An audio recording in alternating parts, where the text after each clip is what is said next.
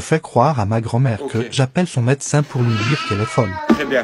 Euh, mais donc c'est bien une fois par mois, mamie, la prise de sang. C'est comme tu faisais avant. Oui, je sais. Voilà. Donc il faudra le faire le mois prochain. Là. Oui, je sais. Voilà. Et je voulais juste vous parler d'un petit truc aussi parce que en fait elle fait plein de trucs euh, bizarres en ce moment. Ça y est, c'est parti. Ben, par exemple, la dernière fois, elle a ouvert les tiroirs, elle laisse ouvert, elle prend un verre d'eau, elle le pose aux toilettes, elle Mais ressort. Ça va pas Elle- ta tête. Une fois, je lui ai dit, mamie, descends, il y a du vent, mets un bonnet, elle est descendue avec sa culotte sur la tête. Elle m'a C'est fait. pas vrai. Mais tu con alors là. Non.